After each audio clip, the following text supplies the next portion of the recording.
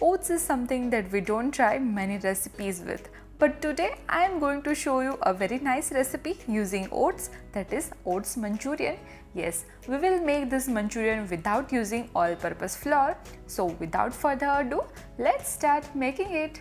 सबसे पहले हम बनाएँगे ओट्स का मिश्रण तो उसके लिए मैंने यहाँ पे एक बाउल में ओट्स लिए हैं अब उसमें ऐड कर दूँगी बारीक कटा हुआ प्याज बारीक कटा हुआ लहसुन बारीक कटा हुआ अदरक बारीक कटी हुई हरी मिर्च बारीक कटे हुए शिमला मिर्च, बारीक कटे हुए पत्ता गोभी और कद्दूकस किया हुआ गाजर भी ऐड कर देंगे और अब ऐड करेंगे स्वाद अनुसार नमक और थोड़ा सा काली मिर्च का पाउडर और इन सबको हम अच्छे से मिक्स कर लेंगे।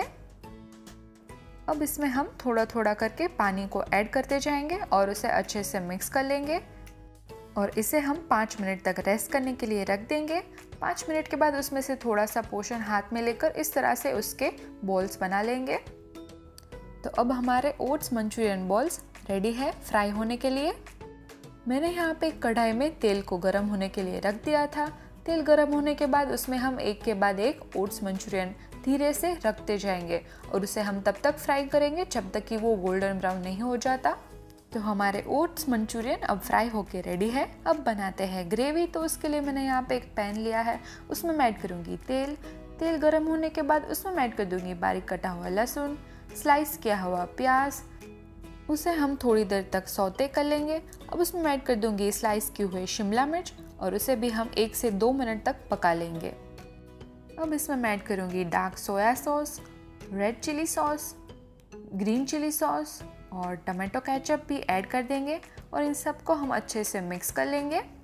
ग्रेवी को पतला करने के लिए मैं उसमें ऐड कर दूँगी थोड़ा सा पानी और उसे भी हम एक से दो मिनट तक पका लेंगे। एंड लास्टली ऐड करेंगे हमारे फ्राइड ओट्स मंचूरियन। और इन दोनों को हम अच्छे से मिक्स कर लेंगे। एंड फाइनली उसे गार्निश करेंगे थोड़े से स्प्रिंग अनियन से।